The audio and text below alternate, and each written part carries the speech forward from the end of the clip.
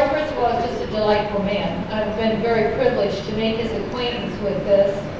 And besides being the principal investigator of Space Watch in Arizona, he is also their inspiration. He's a professor of planetary sciences at the University of Arizona. He's a Sarabhai professor of the Physics Research Laboratory in India, and I will allow him to give the correct pronunciation.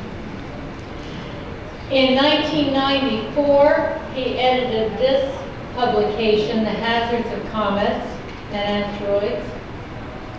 And just, I'm not going to go through the whole list because I promised him a very brief introduction. Just in this year alone, he had an article in the Scientific American of March. He was included in an article in the uh, Final Frontier, the March-April issue. And since I promised him a short introduction, I'll do that, and I'll merely recommend that you read his autobiography on the glassy sea, an astronomer's journey. I was delighted by it, and I'm sure you will too. I'm very pleased to present Tom Gehrels of Spaceport.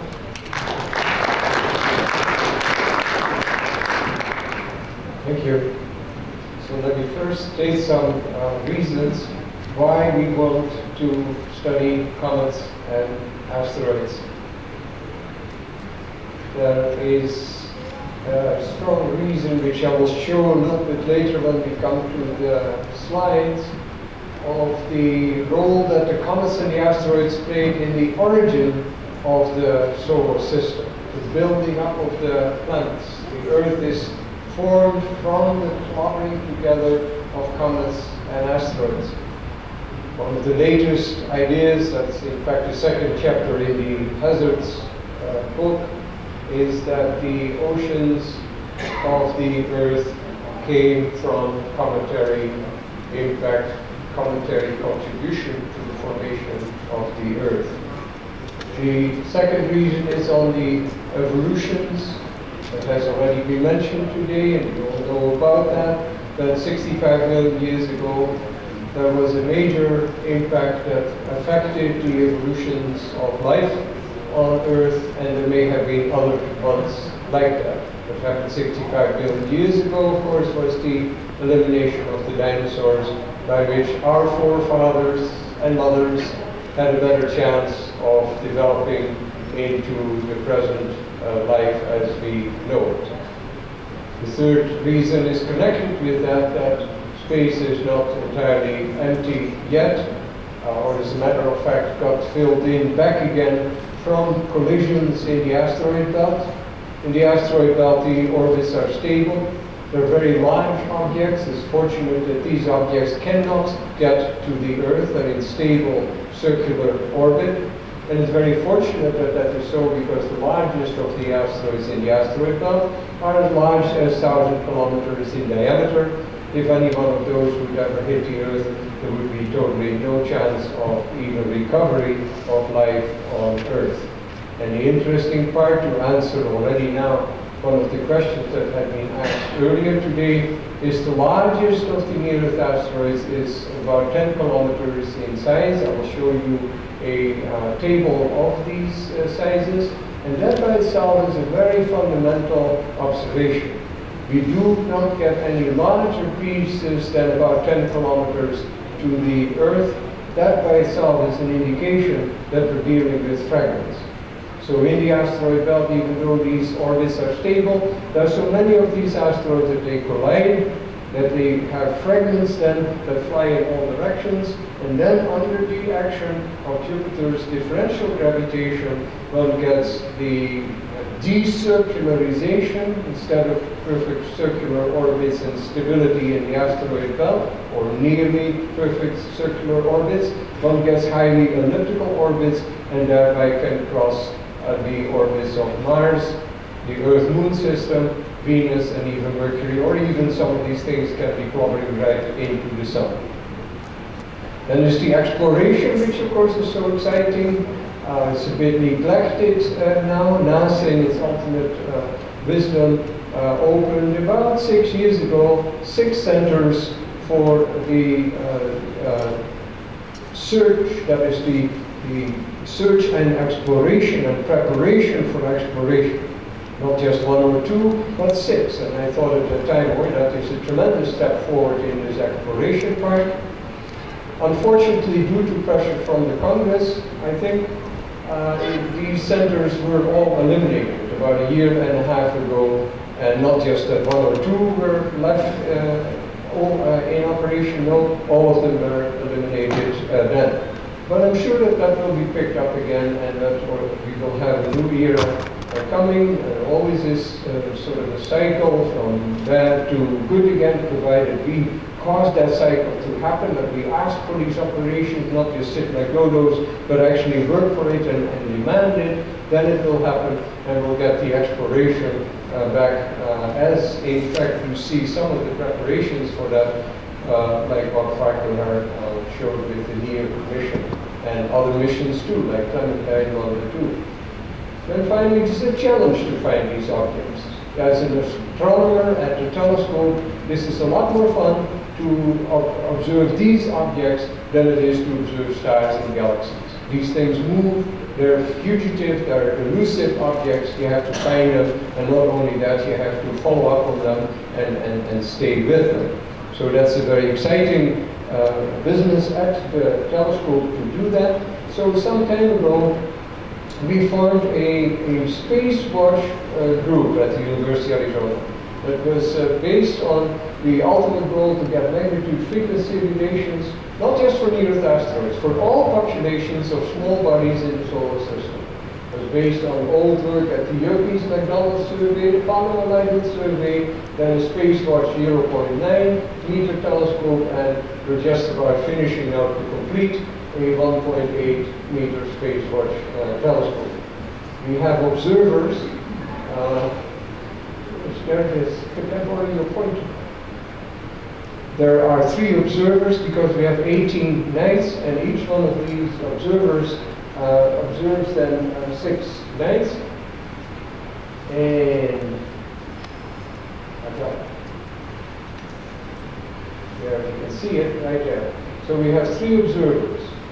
Observer there, an observer here, and each one observes six nights per month, and therefore we cover 18 nights per month. And we have other people like the most important person Bob McMillan, the manager. We have a research associate. We have people for engineering and, and optics, and then we have these students. Now that's the part that, that has been changed. This morning we talked a little bit about changes and, and, and to adapt to changes. I have a wonderful monitor at the Air Force Office of Scientific Research Dr. Henry Radoski. And one time when I came on my yearly trip back from India, and of course with jet lag, the trip even to the East Coast would take maybe 30 hours from the city of Ahmedabad. And I got into his office and I slumped in his big chair and he looks at me and he says, you don't look so good, you better reproduce yourself because I've invested a lot of money into your project and you don't want that to get lost. Well, thank you, Henry, that's quite a hint. Uh, what shall I do? We have to get students. And the original old-fashioned approach was that in a project like this, I didn't want any students. And I said that to Henry, I said, they're a nuisance, I have to babysit them, and they're not very productive, and I have to get the work done. Uh, and anyhow, he then encouraged not only that with his words, but also with money. He said, I'll pay for it, and he got these students. And it has actually become a great success. More of these students, we actually have three more already now, and additional ones to come in and they work very well. We have, of course, a telescope designer, and then we have 140. Actually, this is an old view graph.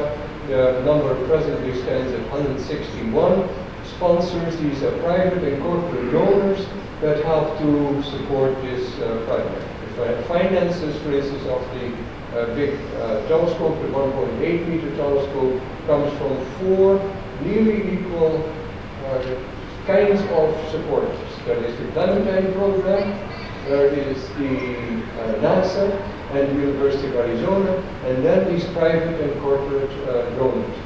And that is going on with great delight, and I'm encouraging that very much. If any one of you want to become a part of this, please do so. We uh, consider that a great, a great uh, contribution from people actually for whom we work in a way to protect them from these horrors of such an impact. So that is going on uh, well. and we get uh, results, the, the finding of these objects and identification is largely done by their uh, rates. Uh, you get somewhat of a similar uh, idea that if you think of an airplane in the distance, its angular rate is very low. That same airplane at its same linear speed coming overhead, its angular rate is very high. So there is a correlation, if you observe in the right part of the sky, between the speed of the object and, um, and, and its distance, and thereby the identification, what type of an object it is. Actually, this plot is a miracle if the solar system were a discus, actually a disk, a solid disk rotating, you would never get such a plot. The rates then are in ecliptic, in the plane of the ecliptic, in the abscissa, and perpendicular to the plane of the ecliptic in the uh, ordinate. And why are they negative numbers? Well, you have to imagine that for a moment how that is. That is, the Earth motion is actually angled the greatest, and therefore, just like if you move your head right now and look at my head, if you move your head sideways, you look my head, then I go in the opposite direction. And that is what happens here also. So we see then uh, prograde positive ones. It could be fast trails anytime, but certainly these are objects that are very close to the Earth.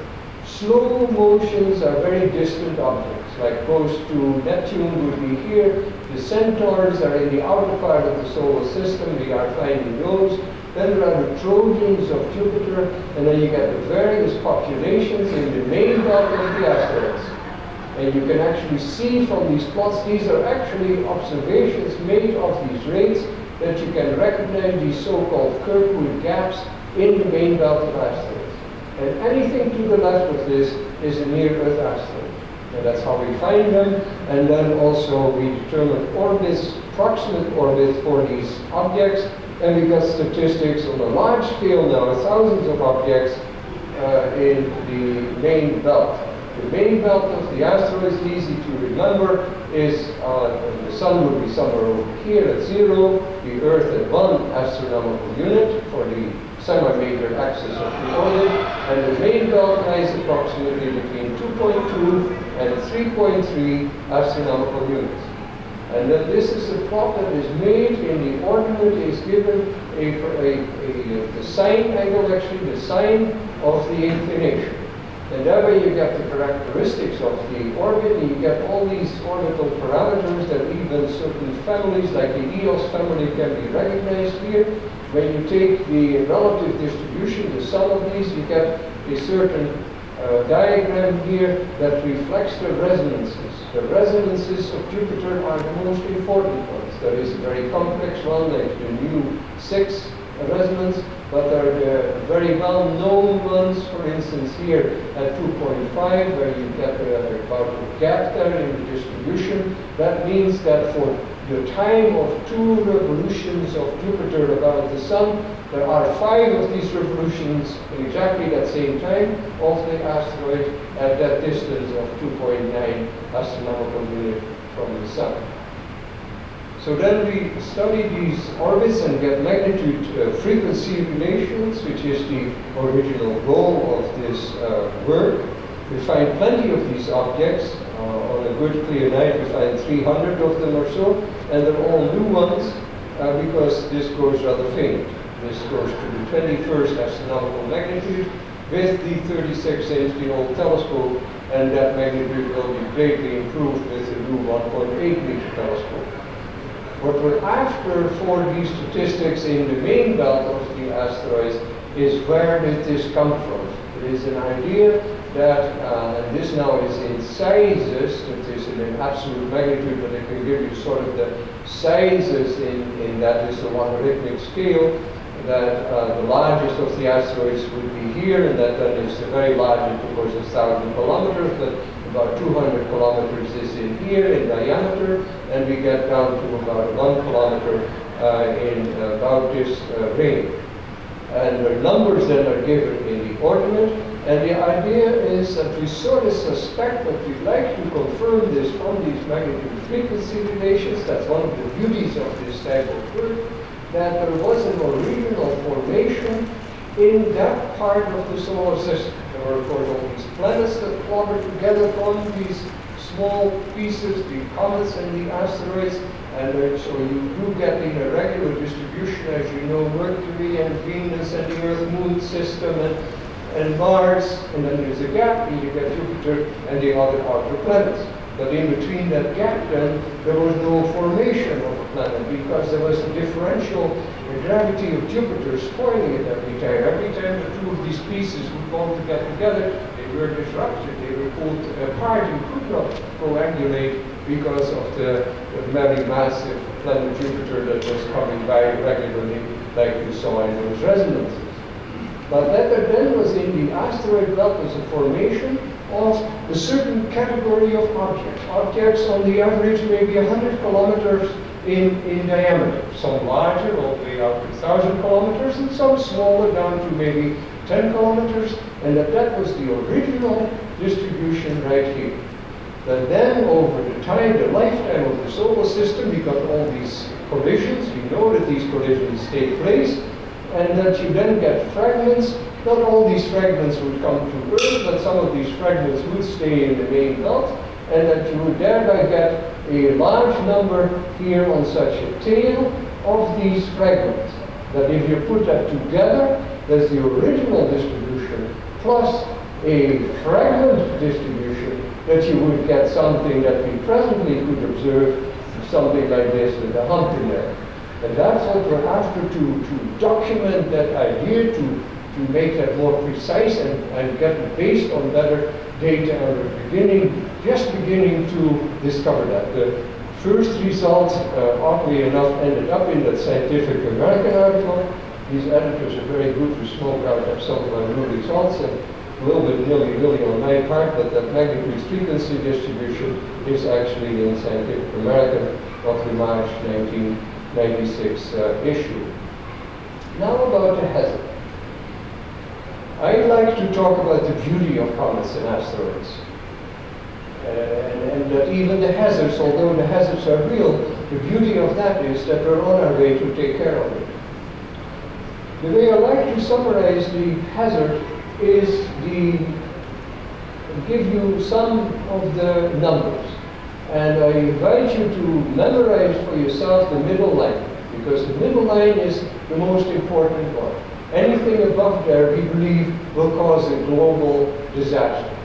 So it is the size of about one kilometer. We're debating that a little bit. Is it really one kilometer that causes a global disaster? By global disaster, I mean that the energy is so large that the Earth's atmosphere is totally disturbed and that the effects become globally noticed in very short order and thereby eliminate at least society the way we know it today and perhaps even more seriously with a lot of loss of life.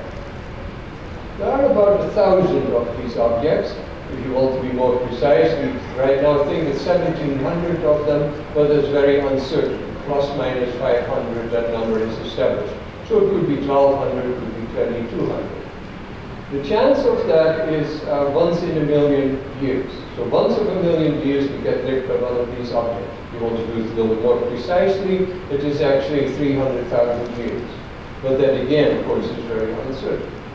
The uh, chance now, you would say, is so negligible, I'm not going to worry about this. This is one of the most difficult aspects to tell people about this. But I have full appreciation of it myself because this figure here, I have myself been showing since 1977. And it's only about three or four years ago that I began to realize the horror of this situation, what really happened 65 million years ago. And that occurred in the editing of this book then. This book, if you want information about the hazards, it should be pretty well up here in this book, at least the status of it a year or two ago. All of these aspects are studied by teams, not the individual papers. There are about 120 authors in there, 46 chapters that deal with the various aspects of the hazards. From finding them, identifying them, their compositions too. There were a lot of questions already today. What happens if you have a fragile object, a rubble pile? How can you detect that? That is studied in that. Should these discoveries be made from space or from the Earth that is studied in this uh, book? how best to study what angle and how to also deflect them and how to mitigate danger. The second half of the book is mostly written by engineers and nuclear uh, people and who are familiar with that type of calculation. But uh, the, the, the point and coming back is how can you tell people about this hazard? And I have a full appreciation for it that people, if you tell them first about this, they will say, oh, come now. We have enough troubles already on Earth, and here is this guy who probably wants some money.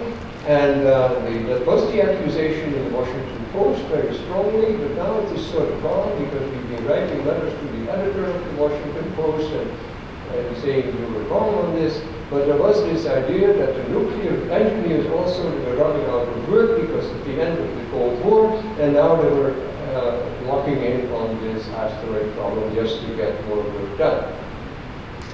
Well, that isn't true at all because already in 1981, at the height of the Cold War, he invited the nuclear engineers in on this problem.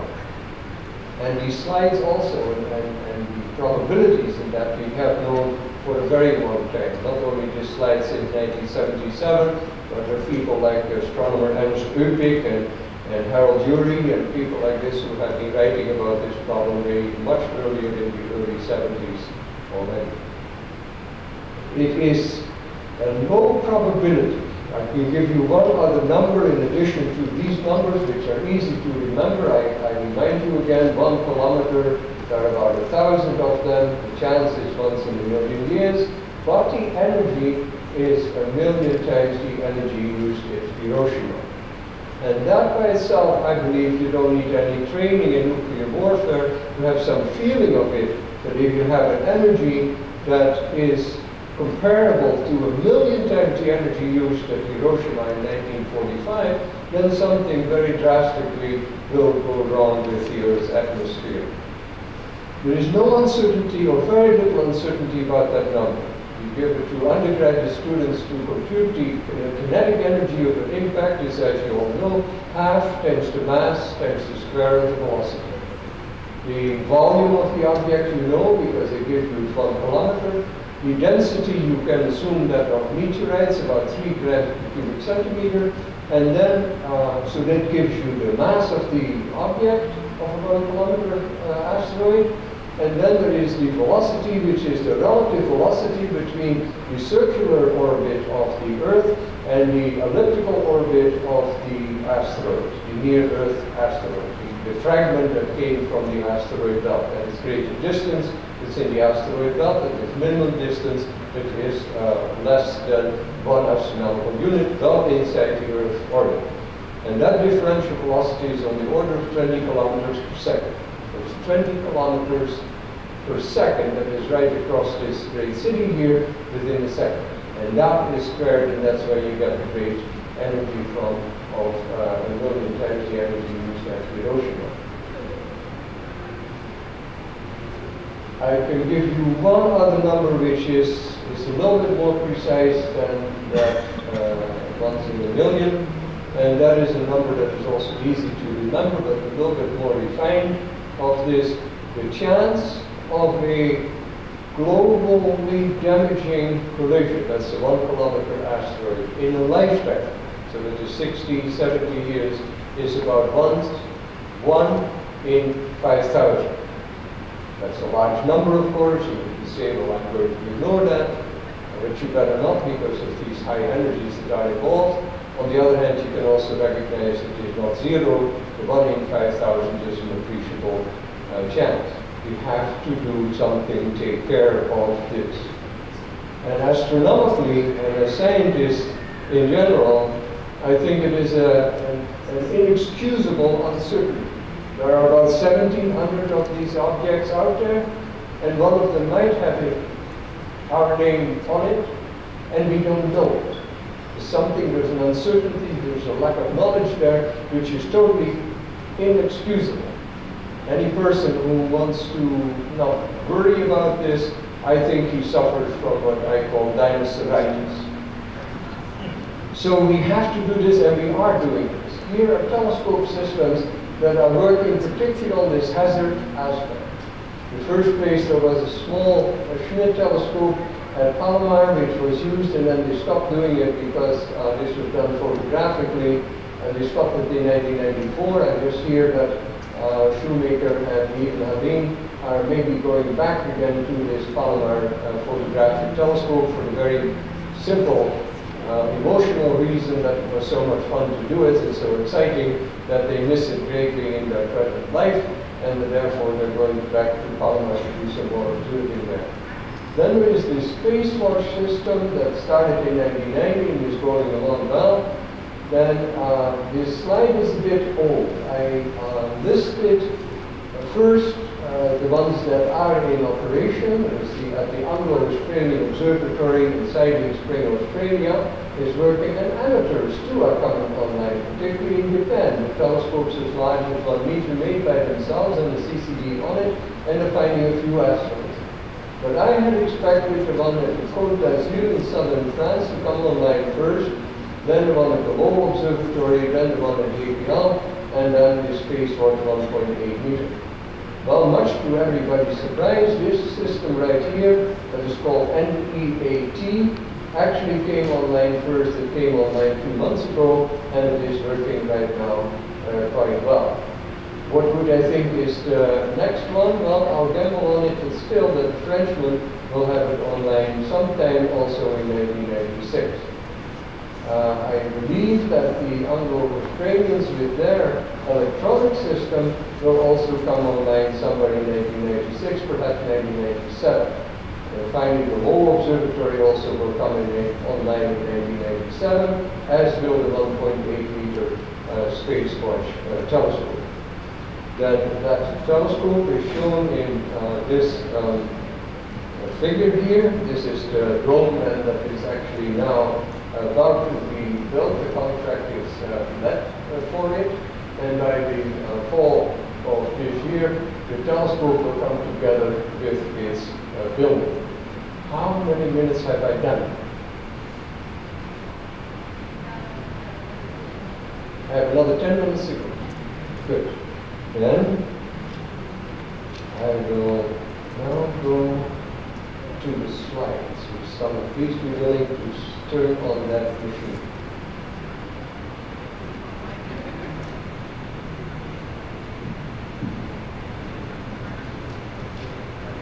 Right. Right.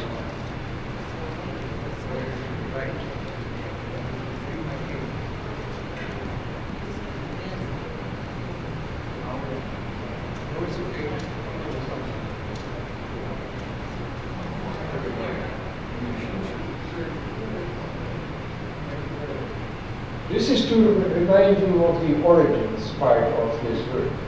Here is a dark cloud, because of the shape of this dark cloud among all the stars, this is called by astronomers fondly the North America Nebula.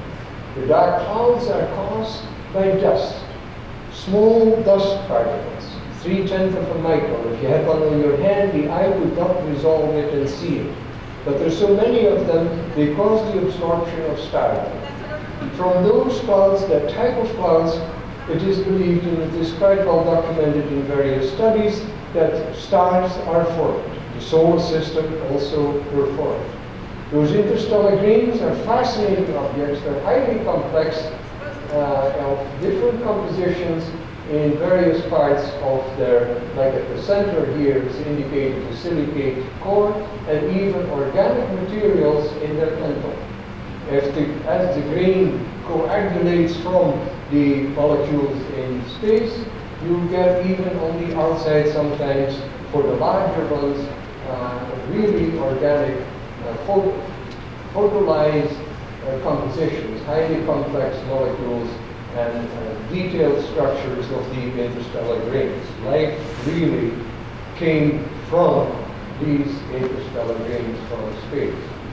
They usually don't come by themselves, but then they coagulate in turn and make larger objects. The bar indicates one micron. This is an interstellar particle, we believe, that has been picked up. Uh, there is that picking up going up from high altitude balloons and U-2 aircraft. The next phase of coagulation is in terms of an asteroid. This is an asteroid that is actually, like what we think of as sort of a loose rubble pile. Different from comet. Well, first let me finish on the asteroids. The iron in the asteroid belt, as I've mentioned here, you got in this graph, you get the orbits of Mercury, uh, Mars, uh, Venus, Earth, Mars, and then you get this gap to Jupiter, and there's where the asteroids are with these stable, nearly circular uh, orbits. Comets are objects that have that are not dead, that are not coagulated close enough to the heat of the sun, but in outer parts of the solar system, where it was cold, so that the, the, the gases and the snows and the ices and so could be among the material. And when an object like that does get heated up because its orbit is decircularized and it gets into an elliptical orbit and it gets close to the sun, then because of that heating, these materials, these volatiles, will come out and will, will be expanding and forcing themselves out like in a jet action, like a volcano, and you see then these pieces coming out uh, dust pieces coming out with the gases. There's even a picture of it, which I think is an astonishing picture. It's not a real picture taken. It's an artist who worked on the data uh, on the space uh, flights of some uh, years ago. But this is the image, which I believe is correct, of a cometary core. You can see all this activity now, very different from a, uh, an asteroid of material without uh, volatiles. And then, of course, you see these beautiful tails of the comet. And here is a picture now of the uh, Space Force 0.9 meter telescope. That is the one that is open here, that one there, is the 36-inch Spacewatch telescope. And the 1.8 will be built here in an equally tall uh, tower. Right there, we'll have these two Spacewatch telescopes uh, together on 15 feet. This is the a picture of the telescope, and this is a picture made at night, a real exposure actually. Uh, you can tell from the duration of it, there's a trailing star right there. So the telescope is actually tracking on the stars, uh, while uh, the photographer, James Scotti, had a, a low uh, light uh, level uh, lamp on here to take this picture of space source actually at birth one of the ways to detect the fast-moving asteroid that was in that rate diagram on the right, where the object is so close to the Earth that it moves so fast in the exposure time on this charge-coupled device, which is about two and a half minutes, that it shows a, a trail. This is an old classical way of finding them. We've actually much more sophisticated ways of finding them also of the very slow-moving and yet near Earth asteroids or the very slow moving objects in the outer part of the solar system. It is a rather sophisticated business. Now I have a few uh, pictures here to help you with the realization of the hazard. I, I said for a moment, you, you come to people and, and I sympathize with them and they say to me, oh, I don't believe this. Here you guys want money and you want the job, and that's why you talk about it's hazardous, it's not for real, and, and come on now, because it's a beautiful day, and don't tell me about some other problem, we have enough problems on the earth already. And then they say sometimes, uh, uh, we've never heard of anybody being hit by an asteroid. But that is not quite true. There are various warnings, and this, these happen all the time. This happened in 1976 in the town of uh, actually a village of Dhajala close to the town of Ahmedabad in India. And at night there was a big explosion and the headmaster of that school, it's a very isolated village, was a very bright man. He realized what had happened, that it was a meteorite that probably had broken up and that the pieces would be lying in this desert. And he went on his bike to the city of Ahmedabad and found one of the meteoriticists there in the physical research laboratory and then they went back to the town. They took a day off from school. And children in their school uniform were put on line, as you see here, to find the pieces of the meteorite, and they found them. And I'd love to show this picture here. It's utterly light, this little girl has found a piece, and she's bringing that. In fact, this was taken by the scientists of the Physical Research Laboratory. I can't help teasing you also, what is hanging from her nose is not a booger, but a golden ring. This is another case which happened in 1954 in a small town in Alabama, where this woman was resting uh, on her sofa and she was hit by a meteorite which had come through her roof and through her ceiling and hit her right there in her living room.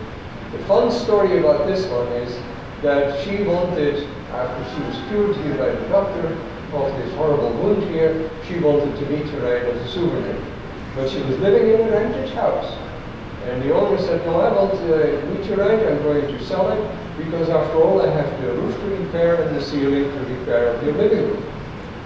So that became a court case. The moment it became, a judge became involved and he had to report that this was coming up for a decision that surely he was going to make, the state of Alabama actually got involved. And their presentation to the judge was that this is obviously an act of God, that the highest authority to represent God would be the state, and that the state, after all, would do something good with the meteorite, namely put it in a museum so that all of the people could see it. Now I ask you for a moment to be the judge and decide to whom would you give it and why. And uh, since we don't have all that much time, I will tell you the solution now. The judge ruled that the meteorite would be given to the woman because she had the most intimate familiarity with it.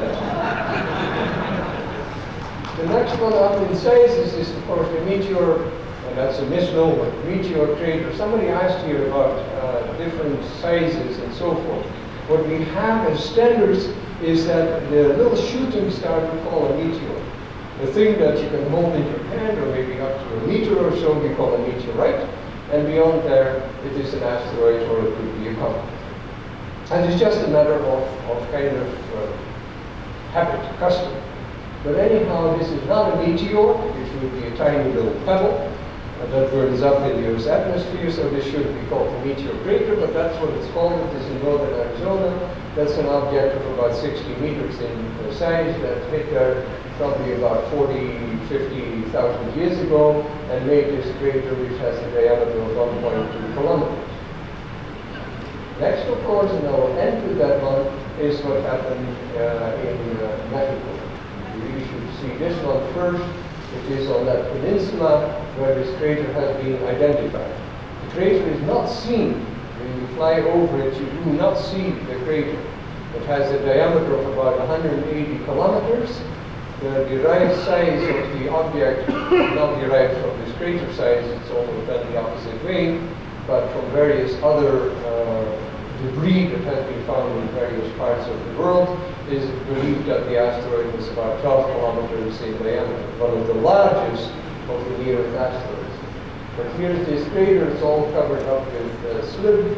It's now being recognized from some infrared uh, work from space, and it is really believed to be underneath there, and that is documented with some drilling that had been done actually long before that already by some oil companies uh, there in, um, in uh, Mexico. And with that, I'm going to close and see if you have any questions that we can uh, discuss further. Yes, sir.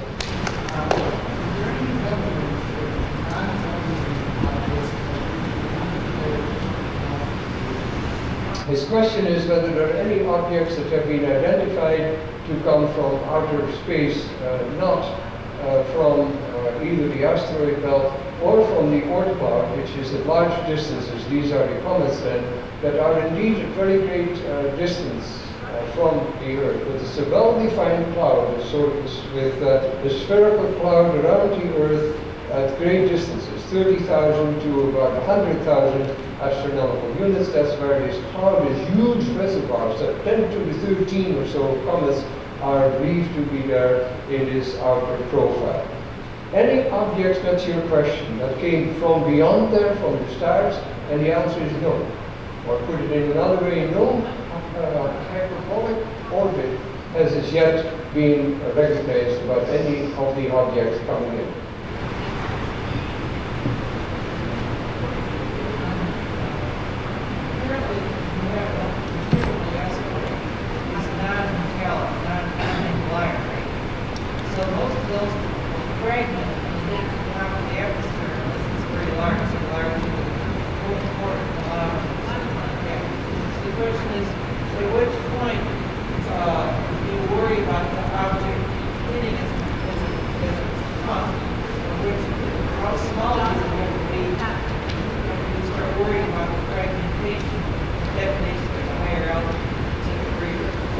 So the question is, uh, what are the sizes that get through to the Earth's atmosphere? This question is more elegantly posed, but that is the way I will try to, uh, to answer it. A large asteroid like um, uh, the limit size that you are looking for, uh, larger than about uh, 50 meters in diameter, will go through the Earth's atmosphere, regardless of the composition lower, smaller than 60 meters or so in diameter, we do get a differentiation.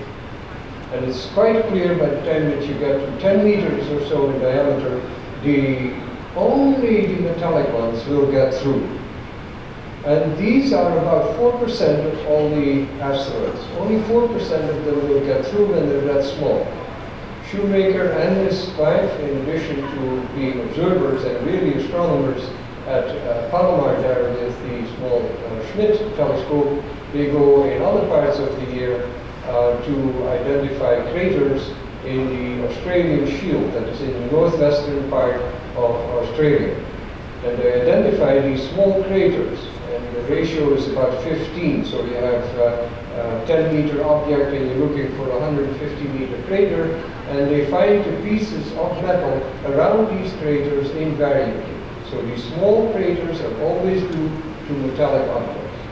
So it's the metallic objects only that get through. The others uh, make uh, air bursts in the upper atmosphere, and that is what happened in Tunguska in 1908 with an object about 60 meters that didn't get through. It uh, made an enormous air blast in the upper atmosphere that was heard as far away as London, but there was no crater. There is no crater. Um, one question, in regards to airbursts and other things that produce a substantial amount of dust in the atmosphere, um, some indication uh, recently, Dr. Lewis's recent book and a few other places, uh, have noted that dust in the atmosphere alone may be a real problem. And uh, that I believe one gentleman has uh, published a small piece recently that the ice ages would literally be triggered by too much dust coming in, whether it's something that, that actually goes smack on the surface or not. Yeah. What, what sorts of volumes uh, are we talking about, and are we, we talking uh, about any real frequency uh, of that happening that is anything related to like what we're experiencing recently? Yeah, so we also know about the uh, dust in the upper atmosphere.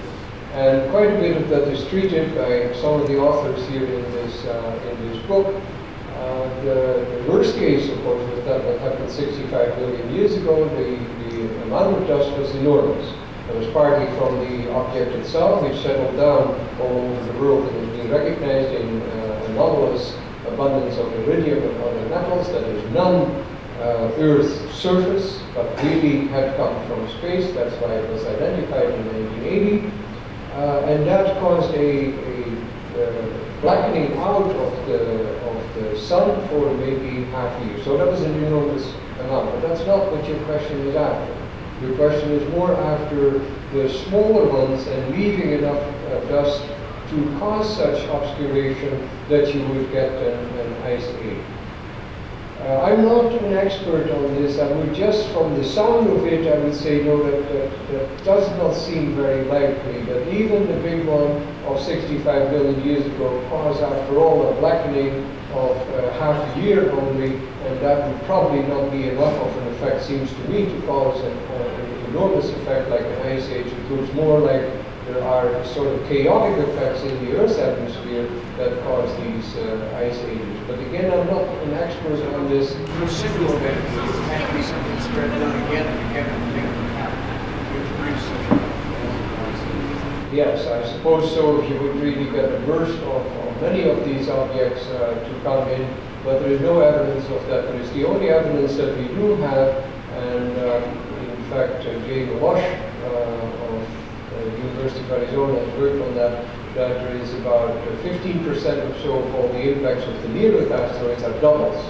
And you can see that very nicely if you ever have a chance to stop off, and I recommend this, at the Frankfurt airport. You ever get to the Frankfurt airport, rent one of their fast cars, about 220 kilometers southeast of the Frankfurt airport, you have two of these craters. The main one is called Ries, R-I-E-S, and the other one is at Steinheim, which must have been the satellite of the original uh, asteroid. They impacted together.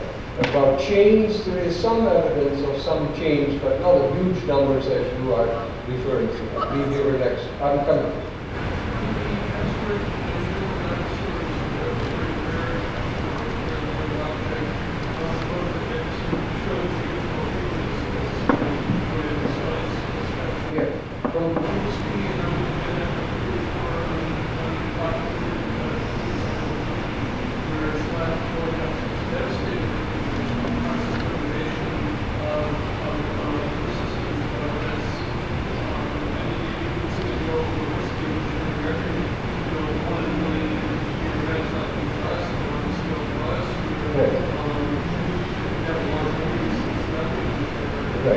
He's asking about the really the, the frequency of these objects depending on their sizes. I think that's the essence of your of your question. And indeed, the one that happened 65 million years ago is very rare. In this uh, table that I showed you, you could see that. As you go from 1,000 objects at one kilometer size, the factor is 100 by the time that you go a factor of 10 in size. So there are only 10 or so. You probably know all of them, of the very uh, ones. The ones, the one of 65 million years ago was exceptionally large, 12 kilometers. And it also hit in very exceptionally bad uh, terrain. Uh, that had been a rainforest some 300, um, uh, 300 million years before, and there was a lot of CO2 deposit which was brought up by the impact, and therefore probably killed the dinosaurs, this had been debated for a long time by the paleontologists, who pointed out that it took a long time for dinosaurs to die. They didn't die in a year or so, or in 10 years, it took them hundreds of thousands of years to be eliminated. That probably was caused by global warming, which has been modeled by Smith and, and co-authors in this book, uh, that the uh, thermal uh, uh, warming, global warming, was as much as 15 degrees centigrade uh, at that time due to the liberation of the CO2 and other um, um, materials that got into the Earth's atmosphere that shielded, like greenhouse, the radiation from the Earth and actually made it into a very hot greenhouse. That kind of mechanism that we have for our global warming uh, hazards uh, also, but we are talking about a few degrees, and at that time it may be 15 degrees, and for hundreds of years. Next question is there. How does the impact, um, how does the impact angle affect how dangerous the explosion? Yeah. The impact angle, the impression I have, again, I'm not an expert on this, is uh, matter some uh, when you're dealing with small objects. Like at the uh, Arizona crater, the Mitchell crater, there is some a good indication of a Gene Shoemaker's uh, PhD dissertation on that, that the object, I believe came from the northeast, and therefore in the southwest there is a sort of a, extra upbuilding on the uh, crater rim. I have the, on the other hand, the overall impression that if you're dealing with a, big object of 10 kilometers or so, that it doesn't make any difference at all. You just get a huge crater and you get the uh, effects of the, of the tremendous energy that is predominant over any uh, small effects uh, depending on the angle of the impact. It's just an impression. I don't know that anybody has really done some uh, serious uh, work on that. I'll leave you next. Yes, sir. How long a period was there between the impact of the body and the longer impact of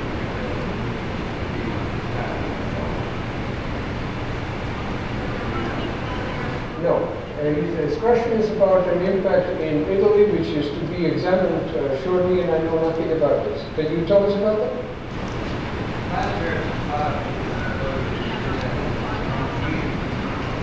had three years, that was one three, like, five, ten years. I don't know, I have time. Yeah, there are of course uh, more indications indications, more and more indications of impacts and craters that have been slipped over by erosion on the Earth or by plate tectonics on the Earth, but people are finding and, and big questions are asked if that is the thing really an impact crater uh, or, or, or not. From the fact you're standing, I guess we have one more question. Who wants to do it?